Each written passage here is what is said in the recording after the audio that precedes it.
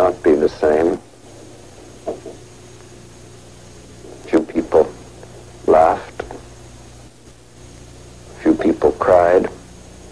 Most people were silent. I remembered the line from the Hindu scripture, the Bhagavad Gita. Vishnu is trying to persuade the prince that he should do his duty and to impress him takes on his multi-armed form and says, Now I am become death, the destroyer of worlds. I suppose we all thought that one way or another. The atomic bomb ended World War II, one of the most catastrophic wars in history, while revolutionizing weaponry and methods of warfare. The innovations of this weapon frightened people with the possibility of nuclear war, while nations around the globe raced to develop the bomb for their own. It changed the limits of military power by creating a new form of weapon that could demolish full cities and kill thousands of people in a manner that was practically unstoppable. In 1939, two physicists, Leo Szilard and Eugene Wigner, drafted a letter warning about a new type of bomb with power that had never been seen before. In order to be taken seriously, they had Albert Einstein sign it and sent it to Franklin D. Roosevelt. Two years later, FDR held a meeting on October 9, 1941, where a program designed to develop this bomb was approved. This program would later be referred to as the Manhattan Project. By the end of 1946, the project undertook 130,000 people and cost the U.S. government over $2 billion. After years of countless studies and research efforts, two possible bomb designs have been concluded on a uranium gun assembly bomb and a plutonium implosion bomb. Finally, on July 16, 1945, the atomic bomb was ready for testing. At 529 Mountain War Time, the greatly anticipated Trinity test took place in Jornada del Muerto Valley, New Mexico. It exploded with a power of 21,000 tons of TNT and completely demolished the steel tower on which it was detonated. It started with a great flash of light, followed by a sudden heat wave and burst of sound. The giant blast ended with a ball of fire and mushroom cloud that stretched 40,000 feet across. On July 26, 1945, President Truman made a final statement to Japan, declaring them to agree with the decision to end the war. When the Japanese denied the request, President Truman began planning with a group of his closest advisors about when and how to use the atomic bomb, and in the early hours of August 6, 1945, the Enola Gay was loaded and ready to leave Tinian Airport to drop the highly explosive bomb in Hiroshima. We uh, got off at about uh, 3 o'clock in the morning, Uh, darkness, and headed for Iwo Jima. We felt that it was our lucky day, and we knew it was as we made the final approach toward Hiroshima. Everything went with perfection not approached in the rehearsals. The bomb was finally released exactly at the designated hour, and the explosion occurred as planned. Before leaving the airport at 2.45 a.m., the aircraft made its way to Iwo Jima, one of the Japanese volcano islands where it stopped at 8,010 feet and set course for its target. Shortly after, at precisely 8.15 a.m., the gravity-pressured bomb known as Little Boy took less than a minute to fall and explode over Hiroshima with a force of 20,000 tons of TNT. When the mushroom cloud cleared, the overwhelming damage caused by the 1.2 mile incinerating area was shown.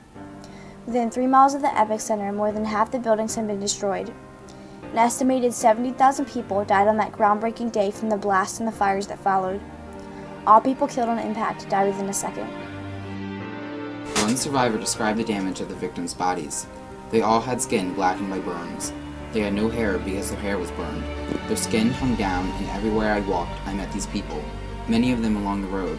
I can still picture them in my mind. World will note that the first atomic bomb was dropped on Hiroshima, a military base. We won the race of discovery against the Germans. We have used it in order to shorten the agony of war, in order to save the lives of thousands and thousands of young Americans. We shall continue to use it until we completely destroy Japan's power to make war. Three days after the attack on Hiroshima, the United States launched a second nuclear attack on Nagasaki, a city in Japan. On August 9th, the plane Bockscar left Tinian Island carrying Fat Man, a plutonium implosion bomb that weighed 10,000 pounds and was 10 feet 8 inches long. This was to be the last atomic bomb ever used in war. At 11.02 a.m., Fat Man was detonated 500 meters above Nagasaki. As the debris from the blast settled, the wreckage caused by Fat Man showed that although the blast was larger than Little Boy's, because of the terrain of Nagasaki, it did considerably less damage. An area of about 2.3 by 1.9 miles was destroyed by the bomb, and the flash created fires that spread throughout the city. 40% of the city had been damaged, and there was an estimated 70,000 casualties by the end of December 1945. On September 2, 1945, more than two weeks after accepting the terms of which their country was in, Japanese government officials signed the Japanese Instrument of Surrender aboard the United States Navy battleship, the USS Missouri. With that, World War II had ended. Many Americans thought of the atomic bomb as a good thing, even if it meant the death of thousands of Japanese, whether they admitted it or not. However, American media seemed to avoid the topic, and little praise was released in print. Despite this, two weeks after the bombing in Nagasaki, a Gallup poll was taken asking whether or not Americans approved the use of the bomb on Japan. 85% approved, 10% disapproved, and 5% had no opinion. They were also asked if the creation of the bomb itself was a good thing or a bad thing. 69% said it was a good thing, 17% said it wasn't, and 14% had no opinion. Whether the bomb was viewed in a negative or positive light, it was inevitable that it was going to drastically change things. The bombings of Hiroshima and Nagasaki drastically changed weaponry and warfare, marking a time for a new military epic, and in return, spiraled the world into a nuclear age. Only four years after the reveal of the atomic bomb, the Soviet Union successfully completed its first test. This terrified the world, and the race of nuclear ascendancy became the main focus of the Cold War. The arms race had begun.